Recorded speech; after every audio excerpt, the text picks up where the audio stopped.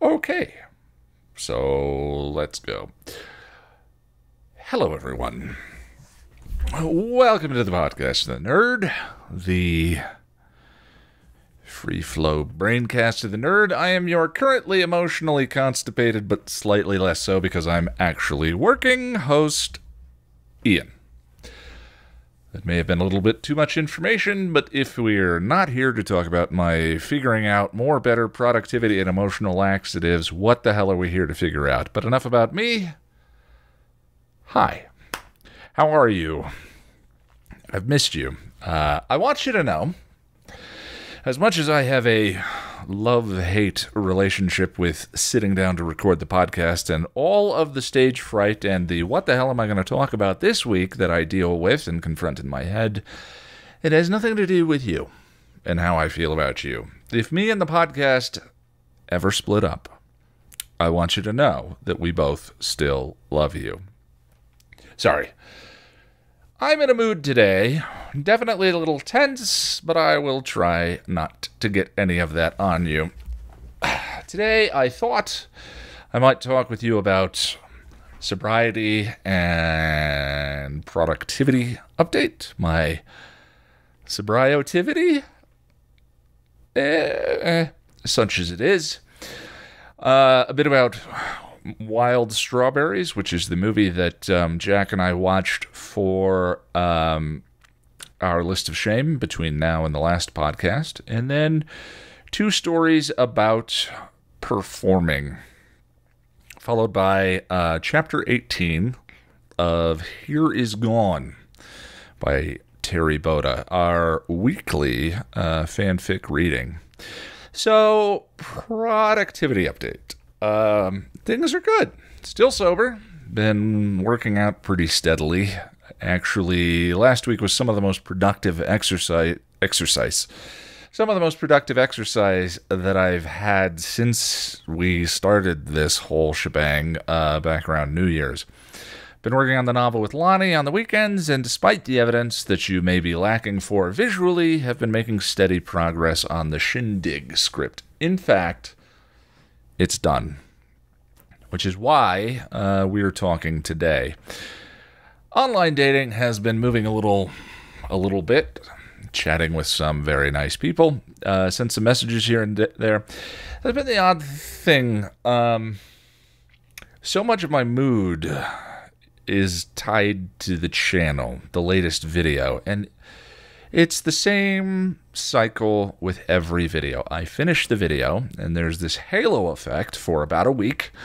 All of the self doubt and frustrations and anxiety that has been building up are gone. I feel a strong sense of, oh, I'm, I'm, I'm actually good at this thing. I know how to do it. I know the instrument. And I'm learning to feel some pride and satisfaction in my work. Thank you, Lonnie. Then the second week happens. And whatever minuscule amount of work I've managed to putz out in the first week is now starting to look like not enough. Time to knuckle down, I think. Let's get this done. Let's crank. But do I really have anything interesting to say about this video? What if I what what if I don't? What if I'm what if I'm not uh, what if this video is boring? Then the third week comes along. Now I'm late. Now I'm feeling the behinds. I've got the behinds in my face. That's when the weight sets in. The shoulders feel heavy. I start to feel bad letting myself do other things. I should be working. Why aren't I working? I should be working. Then week four. Now, and pardon the phrase, I'm a piece of shit.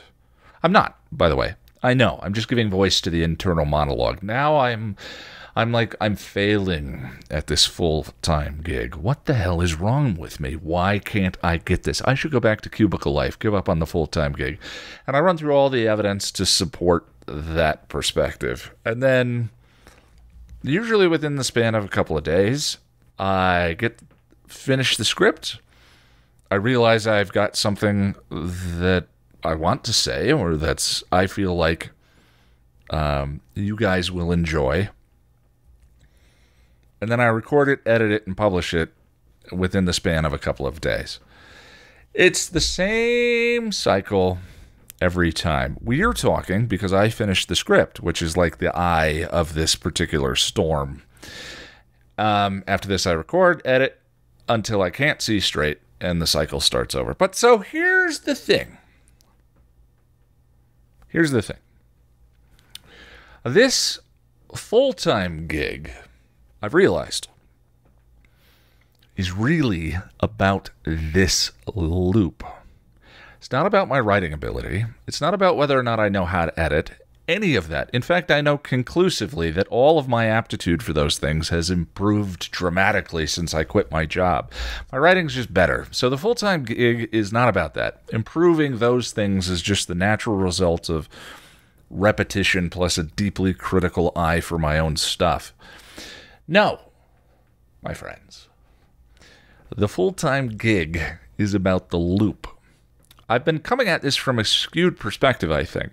Schedule and to do lists and GTD systems and your basic first time starting a business nonsense. And all of those things might have been a good place to start for someone else. But I am me, and my main professional challenge in life is the loop and all that that entails. If I conquer the loop, then a video every two weeks starts to happen. Schedules start to get hit. Patreon subscribers grow. I then have health insurance that I'm not terrified to actually use. If I don't, I go back to working for someone else where there is no loop, just the constant daily encroaching nihilism of working 10 hours a day at something I don't care about with a bunch of other people who are also stuck in, we'll say, Nietzsche's prison with me.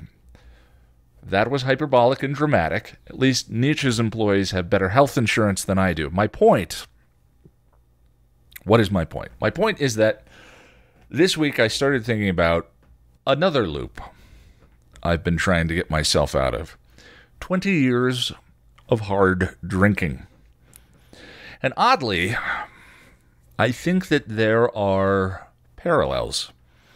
I've had a few thoughts about my sobriety I thought I'd share with you. Um, my sobriety loop used to be things got bad, I wondered if I was an alcoholic. Ha. I decided uh, I quit. I quit for extended periods. I said, Oh, see, I'm fine. I don't have a problem. I'm not compelled to drink. Uh, I'm not, actually. I was misunderstanding my particular brand of souse. Uh, but then I'd say, Well, I can have one. Three months later, I'm back where I started. And that bears a certain resemblance to the productivity loop, don't you think? That shine of a new video, the reflected glow, and me thinking, oh, I'm fine. I don't have to turn on all of the apps and website blockers. I don't have to use the Pomodoro timer. I don't have to ask Lonnie if I can cubicle buddy with her for a day to get the script done. I'm good at this. I'm good. I'm good. Now, I'm sorry if this is confusing and masturbatory, but that's probably the subtitle of this podcast. I'm thinking through this right now, uh, applying the same model for alcohol. With alcohol, I was misunderstanding the actual problem. The problem wasn't I was compulsed to have a drink. That when I woke up, I needed a drink or couldn't go a few days without drinking. The problem was if I allowed myself to have one, one turns to 20 on a long enough timeline. All that time, I had been trying to attack the wrong problem. The cost of trying to train myself to drink like normies out there uh, was costing me relationships, dignity, and self love. That was a bit of a rabbit hole. I just haven't really expressed some of these ideas to myself clearly, I guess. But with videos in the channel, maybe we can apply the same model. The problem isn't really whether or not I know how to do the next video. The problem is I can't let up on the structure that allows me to get those things done. If my productivity is a machine and it's built from website blockers and habits and Pomodoro timers and Google Docs and all of that, just because the last video got done a day or two ago doesn't mean that I don't need that machine today. I'll get the next video done. I know how to do it.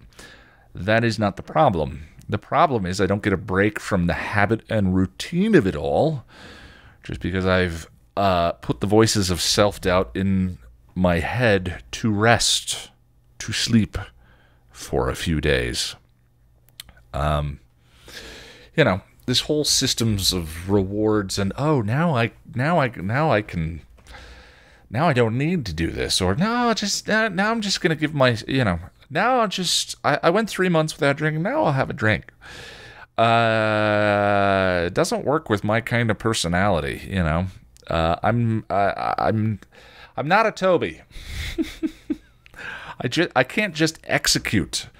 My particular brand of work from home requires that I make concessions for its shortcomings. Accept it for what it is. No shame. No self hatred. Well, not a lot of shame, and and as little self hatred as I can manage. Go from there. But um, I'm not advocating for relentlessness. We all have batteries, and I know I need to accept that I mine need to get filled. So I decided two things this week. First, uh, the system I was trying to go with was I would take two days off after I published every video.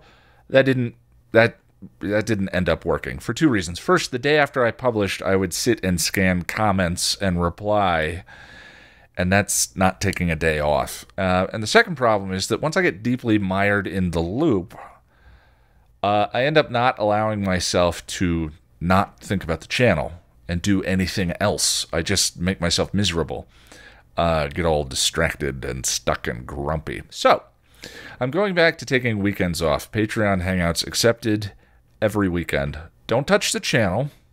I can work on habits, other things, maybe this podcast, but weekends are for self care, errands, games, and laundry. Laundry.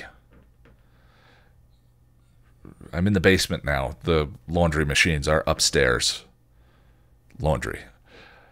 Speaking of games, I think I'm going to stop uh, game streaming now the Boris is among you. I can hear you, Boris. May say, uh, but you really haven't been game streaming. And that's true. I haven't. But I've been thinking about game streaming. This is what I'm saying. Like, I can't shut the channel off. The I can't. It's just always on in my head. Some version of what the next thing is. You know, it's it it's it's it's everything I do really, and I I need it to not be sometimes. Um, so, thinking about I should be game streaming, not playing games that I want to because I think I should stream this. Last week, I finally did a game stream for a game I've been anticipating for a long time Half Life Alyx. And I noticed I didn't get into it. I didn't have as much fun. I got self conscious. I didn't really get into the game the way I wanted to. And then when I was recovering this weekend from getting sick, I ended up dipping into my Steam library and playing several things I hadn't touched in a long time for hours. The you know being sick is is a blank check to do whatever the hell you want to do. Um, and I got hooked. I got hooked into some games. I was playing uh, Arkham Origins, which I never finished, and really the Red Hood section in that really hooked me. Uh, it was a lot of fun and I hadn't felt that feeling in a while because I uh, the game streaming does not allow me to get absorbed into the thing that I'm doing the same way. You know, it's one part hanging out with you guys, and it's one part uh, the game. Now, I'm not saying I'm never going to game stream again, but I'm going to stop thinking of it as something I need to start doing with regularity or on a schedule. The channel is enough for that um, or that I can't touch a game without streaming it. I'll tweet when I do, but uh, I'm going to make it mostly just a for me thing. And that feels lovely. Uh, I've got to stop trying to turn everything into content, which is a um, a hazard of this position. I knew in advance, but now I can see evidence of it. Um, oh, I mentioned I have uh, I had a couple of sobriety thoughts. I don't know why I would share these, but that's what we're here for, right? you know, uh, productivity and emotional laxatives and oversharing. that is also the subtitle of this podcast. I need to be more clear in my language. Um, I keep saying that I I can not drink. But the truth of that is, is uh, I probably mean that more in the Mark Twain sense of quitting smoking is easy. I've done it a thousand times. Staying quit for any length of time beyond the three month marker is going to be a new thing. And I've been saying that something feels different this time. Something feels changed, that I feel like I'm just done. And I couldn't really put it into words, but it felt like you know, it, it felt like mm, there was a switch and it was off, and whatever the reasons, um,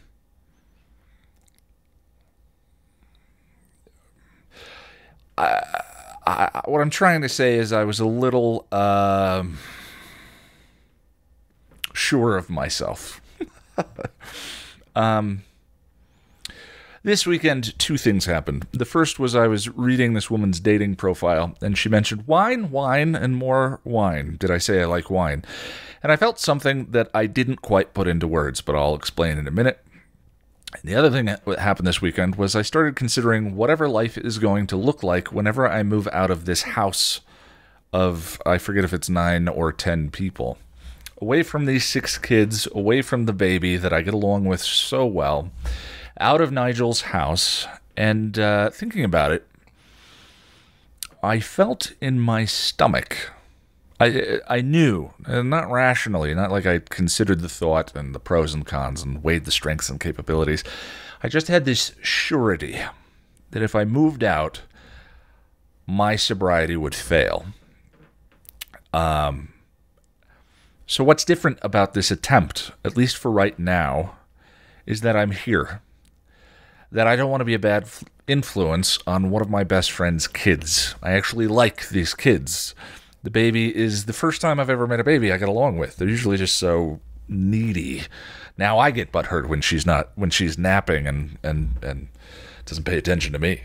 Um, I don't want to risk my opportunity to be a positive influence, and I care what they think of me. So much so that I just feel this certainty that while I'm here, the switch in my head is in the off position. But if I went back to living alone, I don't know. Um, there wouldn't be the same bar that I was trying to live up to, keeping my word to a friend, honoring the relationship with his family.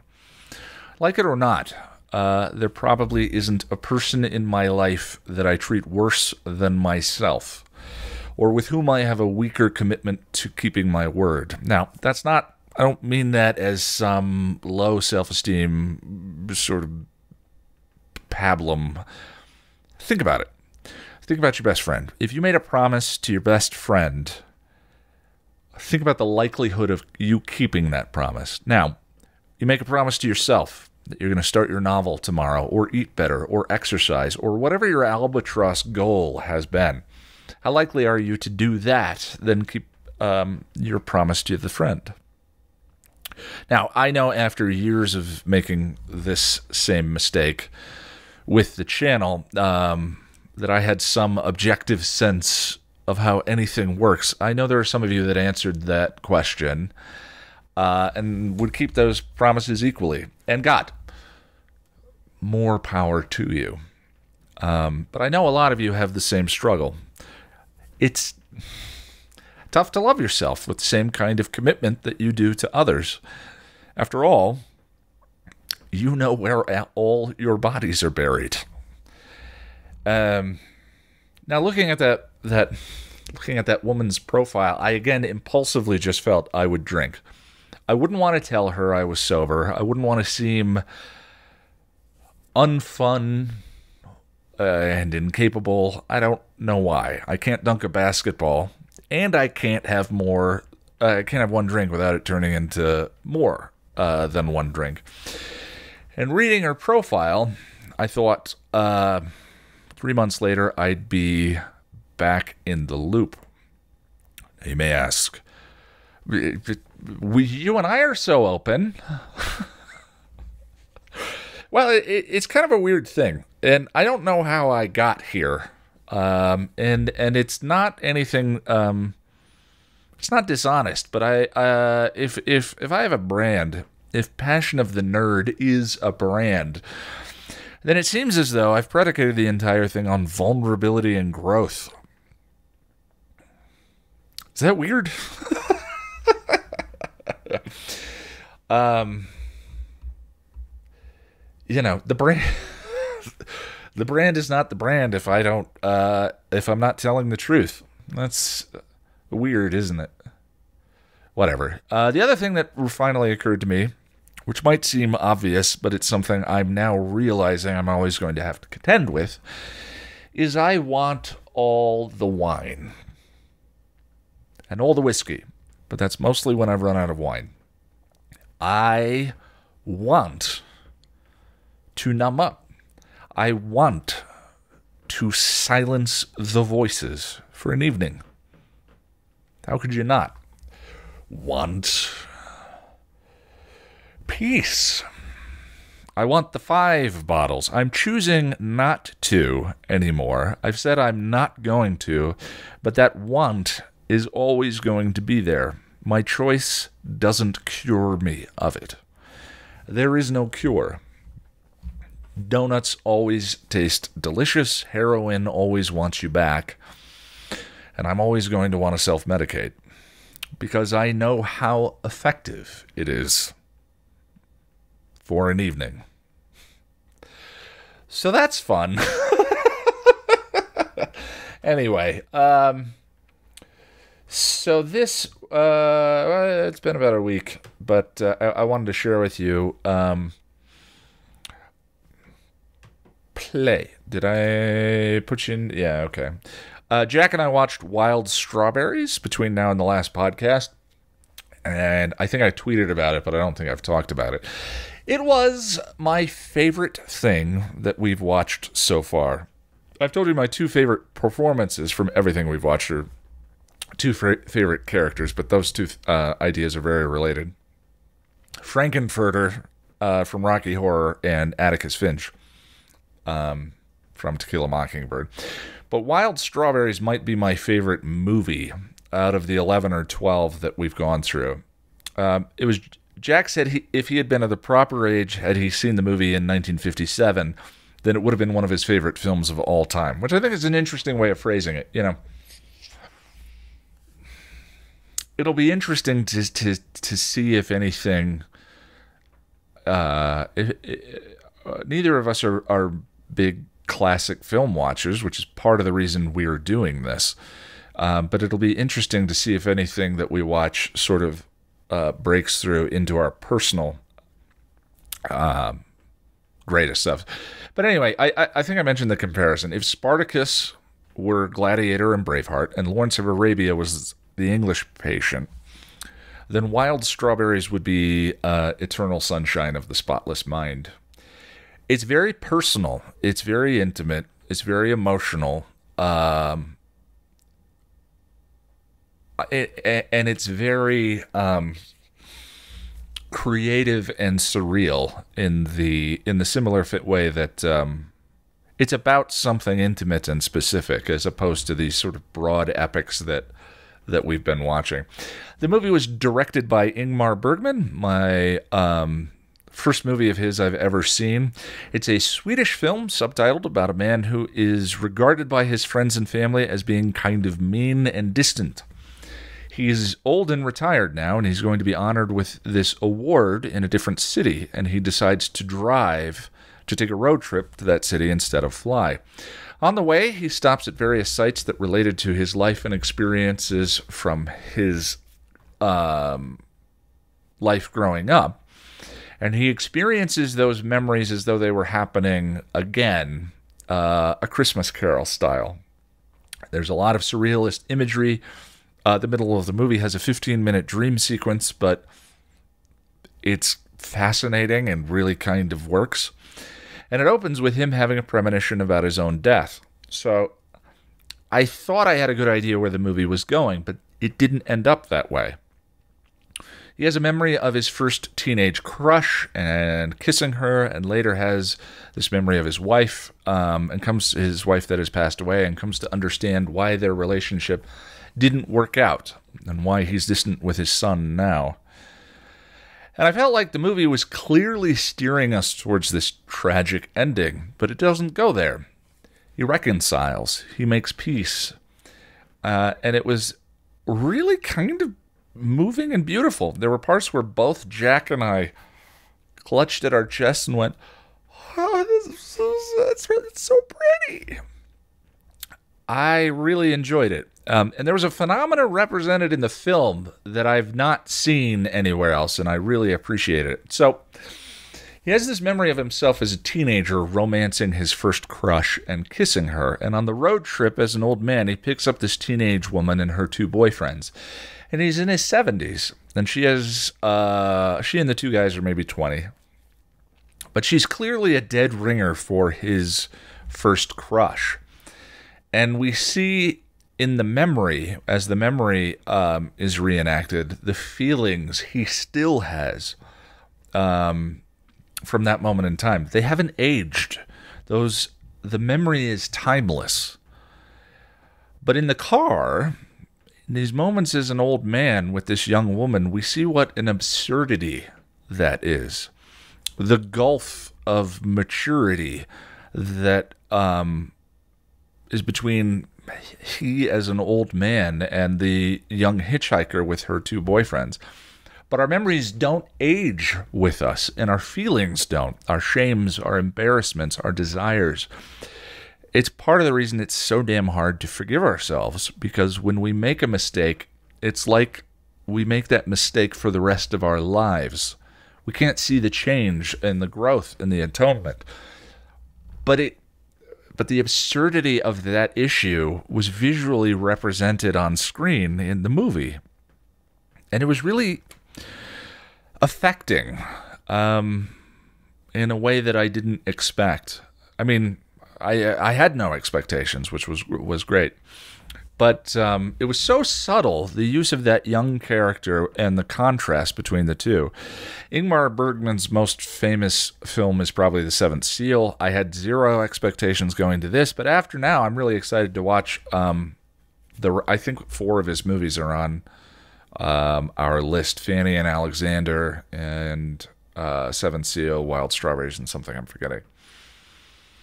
Um, this will probably be the first film from our list of shame project that I go back and watch. I mean, I'm going to see Rocky Horror, but uh, at some point, but uh, that's not a quarantine experience. Um, watching Wild Strawberries again is probably definitely something that I'm going to be doing.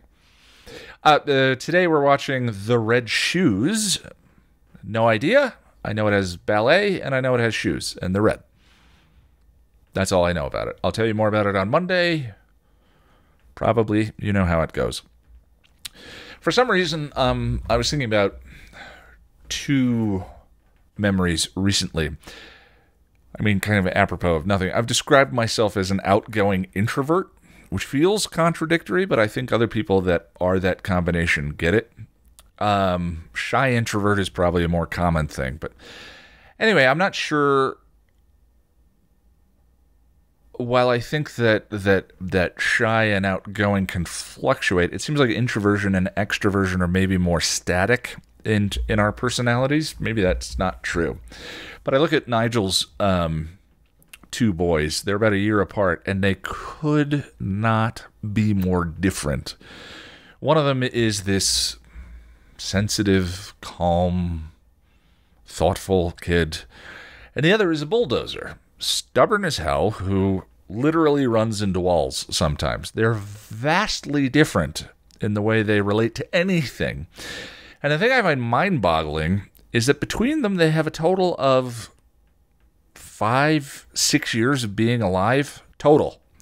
They don't have enough accumulated personal baggage to really account for all the ways in which they're as different as they are, which makes me kind of wonder about um, you know, how much does the genetic lottery play into things like attitude and personality type? It's got to be uh, more than we think. Is is all I'm thinking about.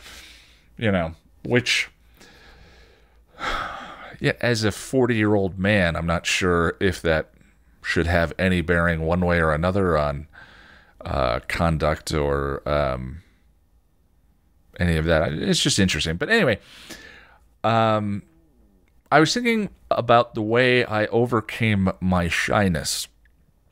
And it was through theater and performance, getting to be someone else, getting to pretend uh, to be someone else. And the thing is, performance is a bit like the episode guides. Yes, you're playing someone else, uh, but when you're doing it well, you're generating the emotions of that character. You're not just externally pantomiming them. I should never speak in absolutes.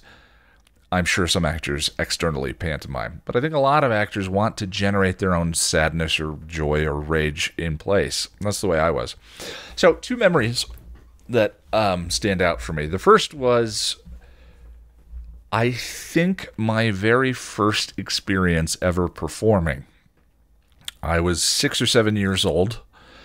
Um, I may have told this story on an edit live stream before, but one of the big things we used to do as a family in the summertime was drive to Lake Powell. Uh, my sisters and my my parents and my two older sisters, we'd rent a houseboat and take it out on Lake Powell for a week, motoring around and seeing the sights.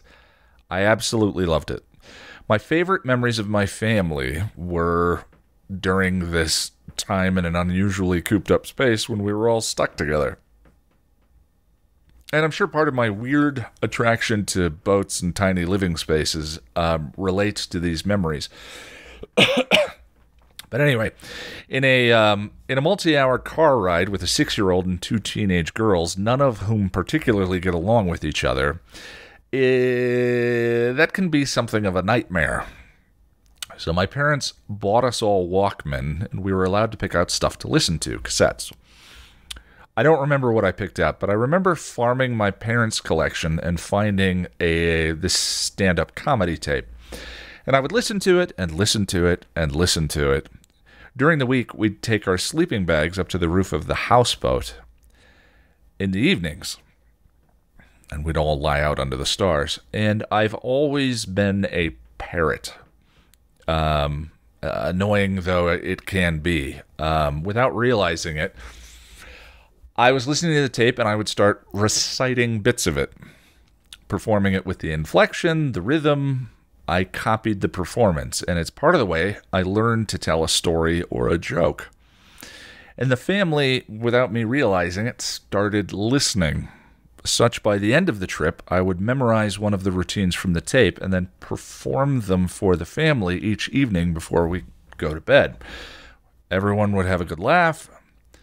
We'd go to sleep, and do it again the next day. And that's the first time I really learned the power of the of performance, sharing an emotional experience, and of course the attention was for a 6-year-old was incredible. The tape was Bill Cosby himself. And um, for some reason, I still have some of it memorized. Dentists tell you not to pick your teeth with any sharp metal object. Then you sit in their chair, and the first thing they grab is an iron hook. Now the dentist. Anyway, talk about art versus the artist. The memory uh, is one of my personal treasures, and interpreted through today's lens, it's the story of a six-year-old memorizing, and performing for his family the comedy routines of a serial rapist. But that's not really what the story is about. Um, the other memory uh, that I thought I'd share with you uh, happened a few years later. I'm 10 years old. I'm at summer camp called Colorado Mountain Ranch. And I'm deeply depressed. Uh, don't really know it because it's the first time I've ever really had to deal with depression.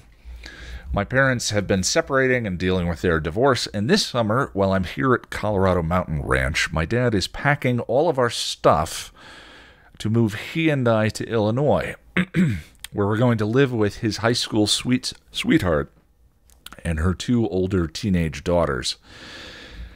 Funny thinking about those memories now that I'm the age my dad was. But that at but at that age, um, it was as though my parents were completely changing the shape of the world, um, remixing everything and and recombining. Um, the world that I knew and I loved and was comfortable with. Being a parent and a human being with all that comes with that has to be I I can't even imagine the challenge uh, now that I'm at the age where you know I would be faced with a similar decision if I had gone the same path. Anyway, so I'm at Colorado Mountain Ranch.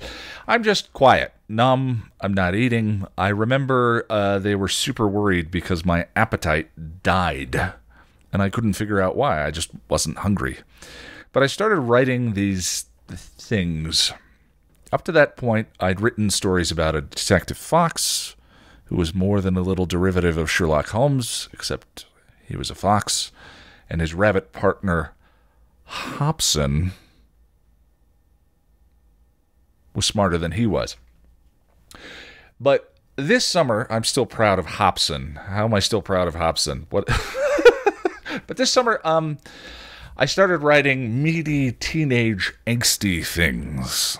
A little early, we would be riding around on horseback and shooting guns and rock climbing, and I would be thinking about my angst and pain and sadness. It was the first time I realized that my emotions could be in the writing. That writing wasn't some magic trick of these events that you staged and arranged in a certain way, and then emotions magically ensued. Emotion is the music that plays along with the events, side by side. And I remember there was a camp counselor who was also a writer. I wish I could remember his name. I think it was Dean but he was always writing in his notebook too, and so I bonded with him. And I was writing these things, and I started getting some validation from the camp counselors for my writing. I was at camp for more than a month, and at some point it was announced they were going to put on a talent show.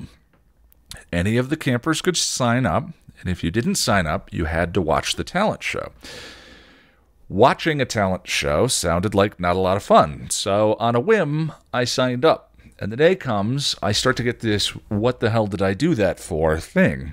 Doing stand up for your family is one thing, but I was going to read my sad writing in front of hundreds of campers? I was barely out of the youngest camper's cabin, too. This was a terrible idea.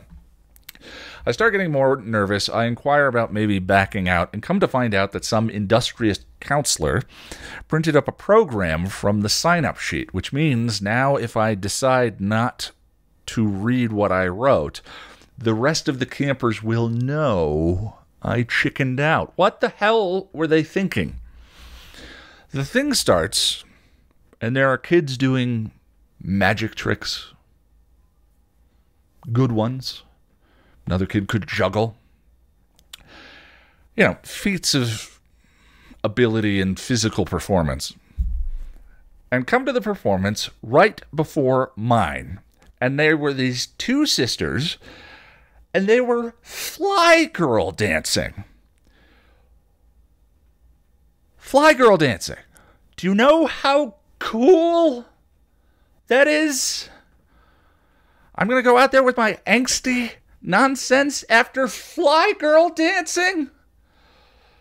So I'm in full on panic mode at this point. I might have started crying. A handful of counselors come out and they're like, Are, are, are you okay? Including Brooke, who I had a crush on so much so that I stole a picture of her out of another counselor. Anyway, I'm in front of my crush and some of the counselors crying and telling them that I can't go on after fly girl dancers. And Dean, who now in my aged, flawed memory looks pretty much exactly like David Foster Wallace with the bandana and glass. Dean Foster Wallace walks up to me and says, Ian, how, how about if I go on with you? I'll read something I wrote and you read something you wrote. And I sniffle away my tears with the napkin Brooke brought me and I say, oh, okay. So Brooke calls. Next up, Ian and Ian and Dean. And we go out there. I stand behind Dean. We're in the cafeteria hall. The whole room is filled with campers, cross legged in front, all the way to the back. They've organized themselves youngest to oldest because that's just what kids do. I don't know. Maybe 250, 300 campers. And Dean reads this poem he wrote about a rose. And it was this beautiful thing. I remember he found some way in which the color of the rose was a symbol for something. I don't I don't remember. I just remember I thought it was way better than what I wrote. But him reading this poem, this beautiful poem about something simple after Fly Girl Dancers gave me the courage to step up after him and read.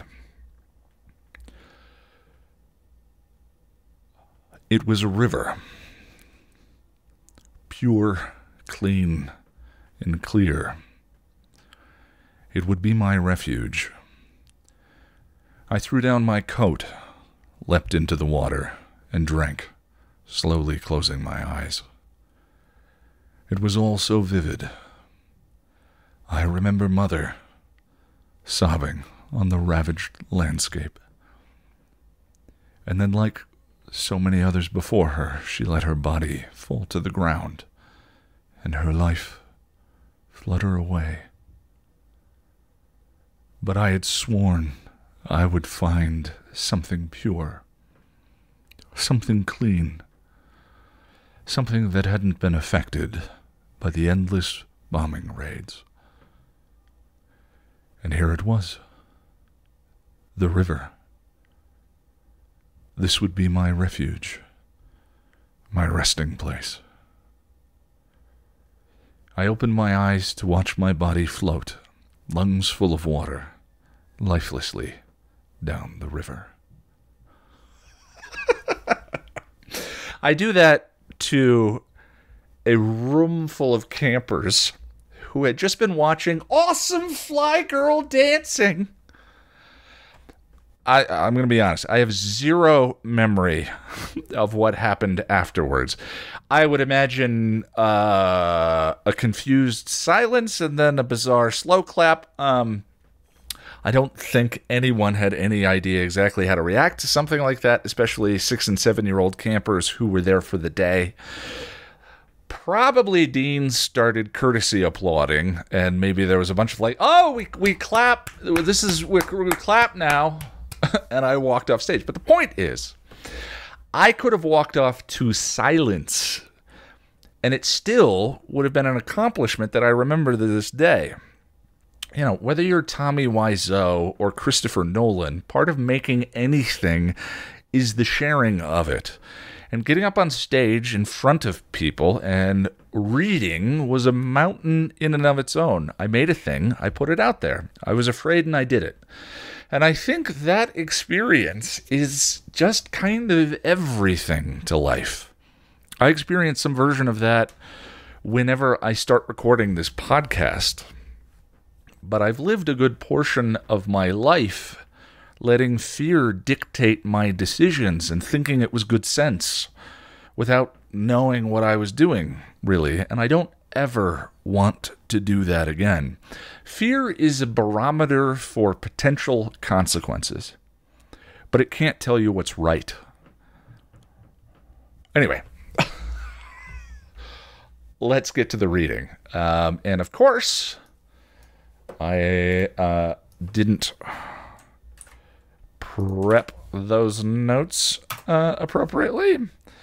So give me just a moment. Uh,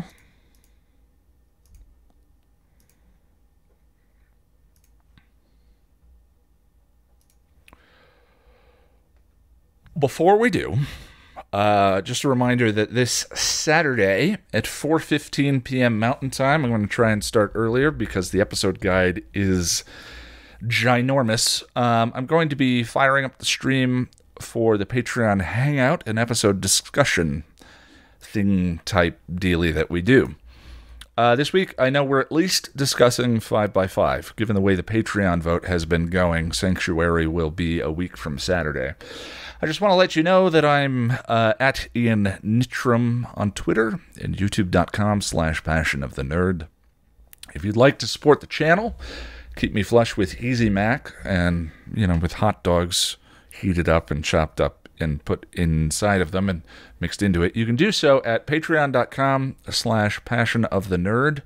With the $5 and up club, you can join me in the hangout this weekend, or you can support me by grabbing yourself something from passionofthenerd.com slash store. There's reading lists, suggested um, type stuff, things.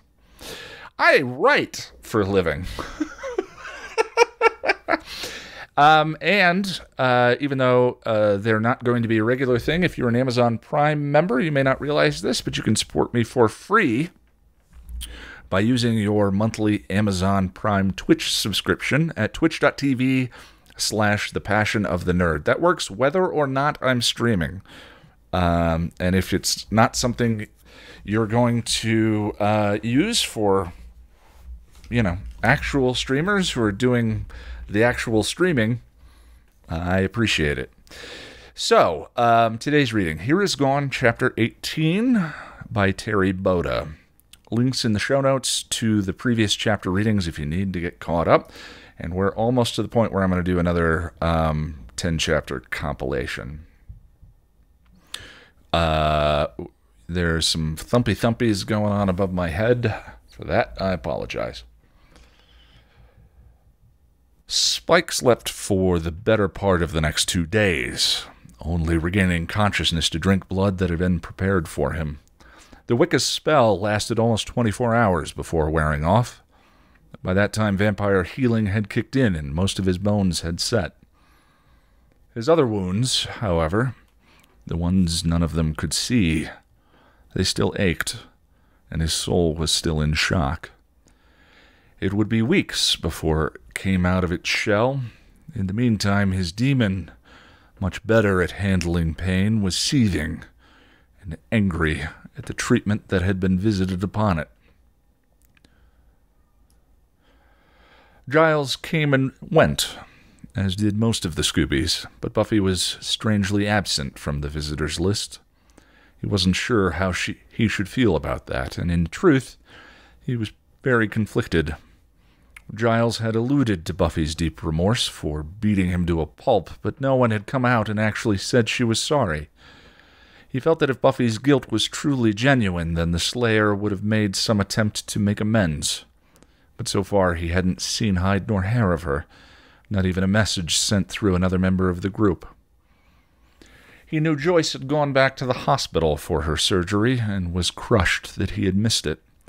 Dawn and Joyce had actually treated him like a man, and even if he had decided to give up on Buffy, he had no intention of giving up on the rest of the girls, or abandoning his plan. He took comfort, however, in knowing that the woman came through the, in knowing that the woman came through the surgery fine and was expected to make a full recovery. Knowing in advance that Joyce would die of a blood clot gave him some options, after thinking about it, he decided that the best course of action was to convince Joyce to go on blood thinners as soon as possible. Of all the Scoobies, Tara was the most solicitous. But her attentions made him uncomfortable because she always looked at him with these knowing eyes.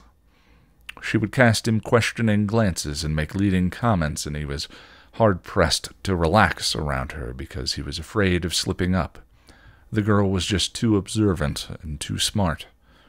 One wrong comment on his part, and he would give everything away. As it was, he was certain that she was onto him.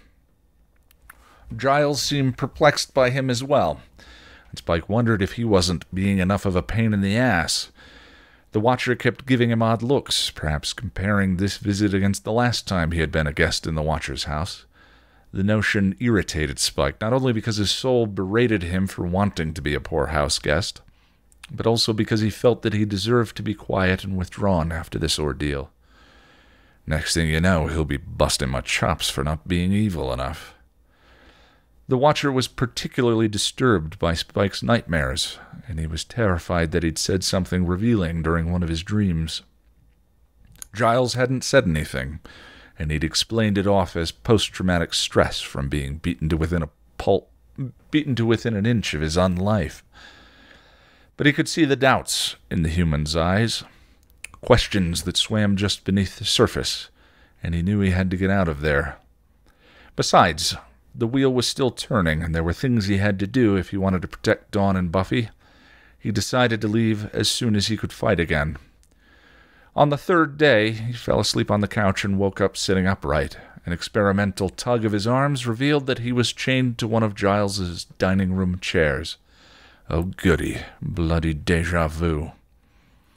He opened his eyes and raised his head to see Giles sitting on the couch facing him.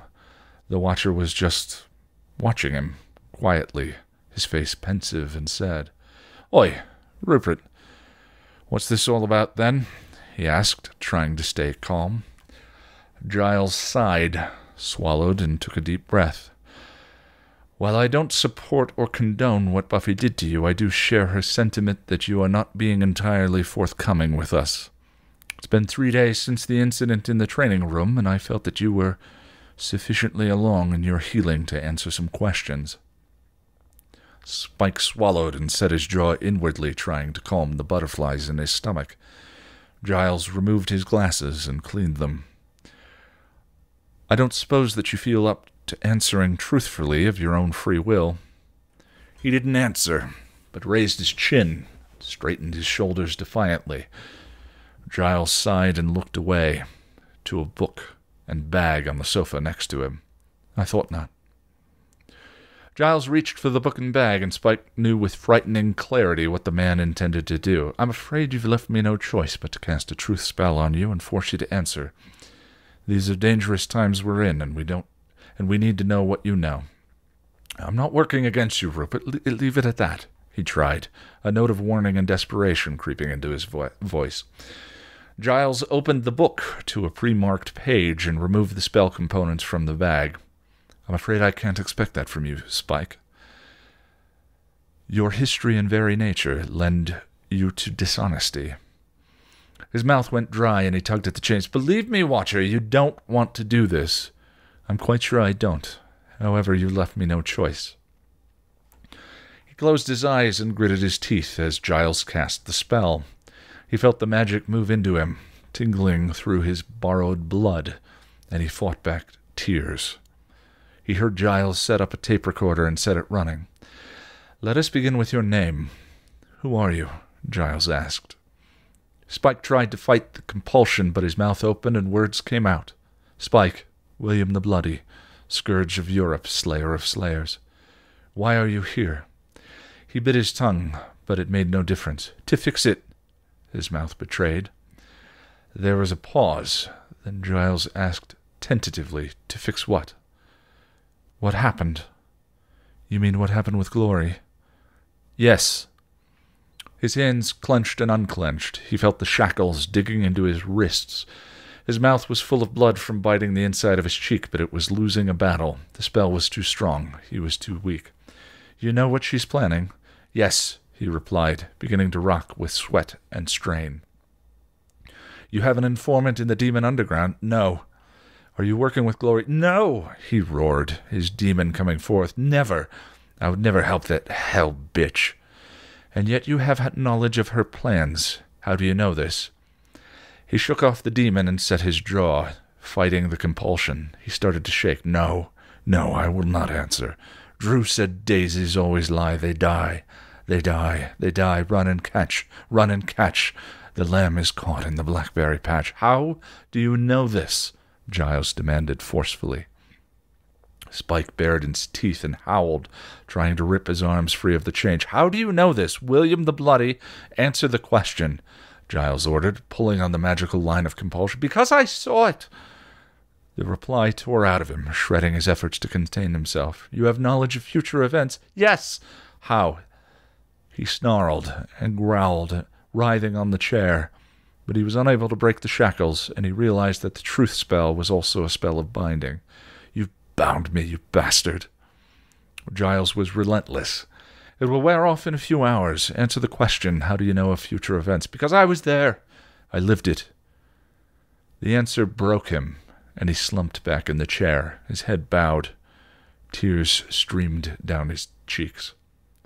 He, you lived it? How? He gave the man a, th- a hateful glare, breathing hard. How do you think? Giles looked at him, stunned. Then the realization came over his face. You've come back in time. Yes. How far? Two years. How? Demon in Africa. Why? Because I wished it. Why? Because I have to make amends. Why? Did you betray Dawn to Glory? No. Why do you need to make amends? He was crying freely now, the tears running down his cheeks as he fought the pain and the memory. Because I hurt her. Who? Buffy. And I wish to make it better. To do it again. To do it different so none of it ever happened. I didn't say when or how far. The demon sent me back here. I, I thought it was so I could make all of it better. Stop glory before. Giles stopped, and both men stared at each other, breathing hard. Then Giles spoke softly. Something truly horrible is going to happen, isn't it? Spike nodded. Yes. Buffy dies trying to save Dawn. He gave a hysterical laugh that broke into a sob. Oh, Ruby, that's only the beginning.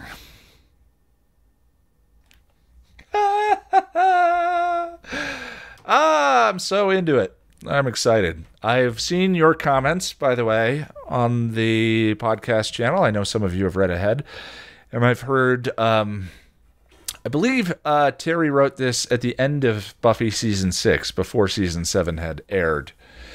So, um, you know, um, keep that in mind. But uh, it's compelling. I'm really having a lot of fun. All right, friends. That's it. I will try and be back with you this Monday, if only for a double chapter reading and a hello. You know, what is there to say? I hope you're holding up. Have a good weekend, and please be kind to yourself.